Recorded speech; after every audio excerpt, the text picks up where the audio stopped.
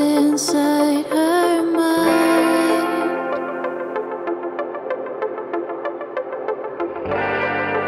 They can never catch her cry.